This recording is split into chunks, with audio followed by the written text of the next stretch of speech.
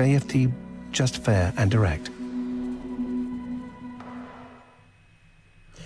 So, einen wunderschönen guten Morgen zur Aufzeichnung. Kein Livestream, drei Ausrufezeichen für Donnerstag, den 14.12.2023. Wir wollen für den heutigen Handelstag, über den heutigen Handelstag mal ein wenig philosophieren und darüber sprechen, was ist denn nun heute wichtig. Gestern Abend war ja nun die Verzinsentscheidung.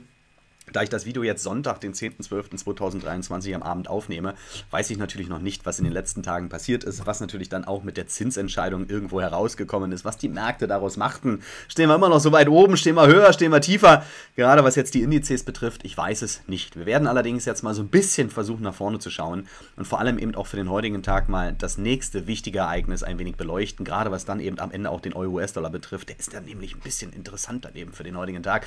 Da schauen wir jetzt gleich mal drauf. Bevor wir das tun, wie gewohnt, natürlich der Risikohinweis. Lest euch diesen bitte durch. Achtet bitte grundsätzlich darauf, dass ihr natürlich mit Stops arbeitet, dass ihr die Positionsgröße entsprechend an euer Konto anpasst, dass ihr all das, was ich hier sage, an Setups formuliere, gegebenenfalls Vortrade definitiv nicht als Handelsempfehlung wertet, sondern lediglich als kleine Informationsquelle zusätzlich zu eurem eigenen Trading, zu euren eigenen Analysen, wenn ihr weitere Fragen zum Trading oder aber auch natürlich zum Broker JFD habt, dann wie gewohnt auf der Website von jfdbrokers.com. Hier könnt ihr noch diverse Fragen zum Trading oder aber auch natürlich zum Broker beantwortet bekommen. Und wir switchen drauf auf den Adventskalender von JFD. Wer es immer noch nicht getan hat, wenn ich, mich, wenn ich mir die große Frage stelle, warum nicht? Naja, wahrscheinlich, weil ihr es die letzten Tage vielleicht noch gar nicht mitbekommen habt. Wir haben von JFD einen Adventskalender. 24 Türchen mit mehr als 24 Überraschungen, denn hinter den Türchen sind teilweise nicht nur eine Überraschung, sondern mehrere, inklusive einer Endverlosung aller Teilnehmer, die bei diesem Adventskalender mitgenommen, mitgemacht haben. Unter anderem ein kompletter Zugang für meinen Kurs Level Up Your Trading im Wert von 1500 Euro.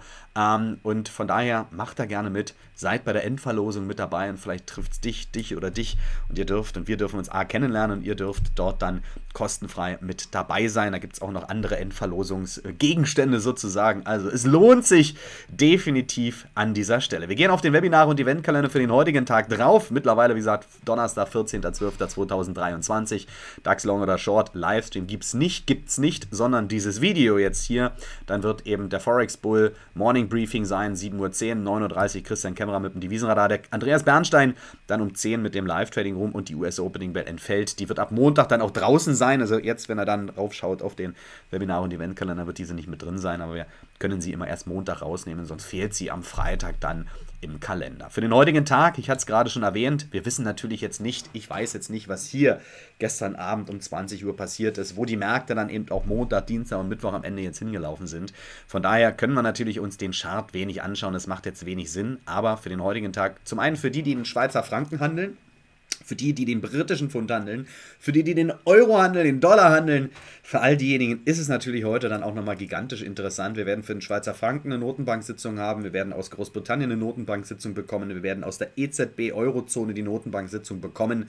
Und ich will jetzt gar nicht auf den Schweizer Franken und aufs britische Pfund so nennenswert eingehen, sondern ganz kurz auf die EZB. Auch hier wird mittlerweile erwartet, und ja, je nachdem, was gestern dann auch vom FOMC Board dort kundgetan wurde, was die Dotplots sagten, was das Statement sagte, was die Pressekonferenz sagte, keine Ahnung, ich weiß es nicht, aber ich weiß, wie aktuell zumindest die EZB tickt und was sie in den letzten Wochen so ein bisschen kundgetan hat. Es war eine Zeit lang erstmal so, dass wir eben merkten, okay, der Dollar im Dollarraum wird angenommen, dass die Zinsen dann eben doch ein bisschen merklicher zurückkommen im Jahr 2024. Das führte dazu, dass der Dollar eine Zeit lang so ein bisschen Schwäche hatte. Dann kam aber auch die EZB so ein bisschen vom Wording um die Ecke. Auch Wirtschaftskennzahlen signalisierten das allen voran, ebenfalls die Verbraucherpreise, dass auch bei uns die Inflation zurückkommt. Und das ist ja das, was die EZB ebenfalls verfolgt und dann eben auch schon das Wording auch ebenfalls in die Richtung ging, dass zumindest im kommenden Jahr auch die Zinsen ein Stück weit zurückkommen können.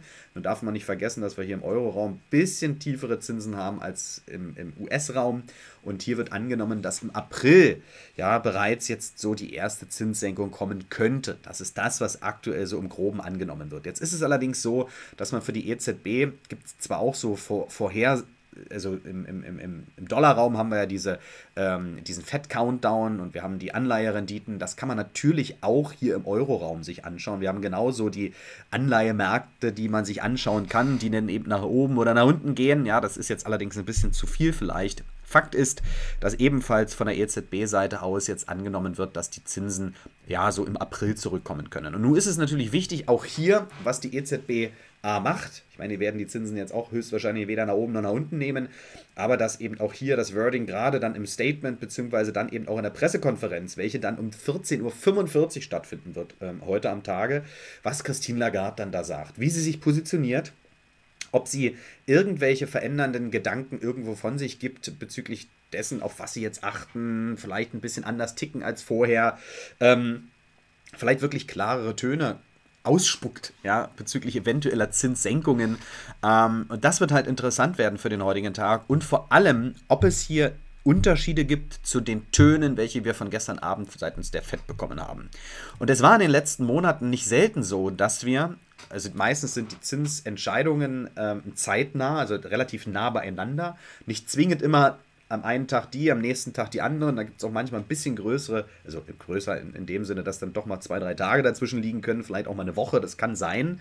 Aber meistens sind sie, da sie ja quasi nur alle zwei Monate kommen, trotz alledem relativ nah beieinander.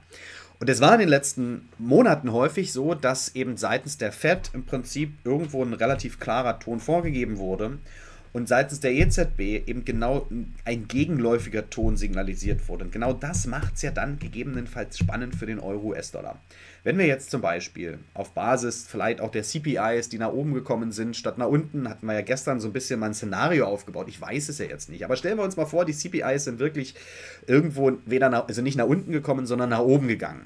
Bedeutet natürlich für die Aktienmärkte erstmal was Negatives, bedeutet allerdings eben auch für die Zentralbank, oh, die kommen doch wieder nach oben, wir müssen ein bisschen aufpassen. Ja, vielleicht müssen wir dann doch ein bisschen länger die Zinsen hochhalten, im Worst Case sie vielleicht dann eben nochmal anheben Wissen wir jetzt nicht. Und wenn auch diesbezüglich die Töne von Jerome Powell und der Dotplots ebenfalls in die Richtung gingen, dass sie doch noch nach wie vor sehr, sehr, sehr abwartend sind, dass sie gegebenenfalls parat stehen, sie länger hochzuhalten, vielleicht nochmal anzuheben.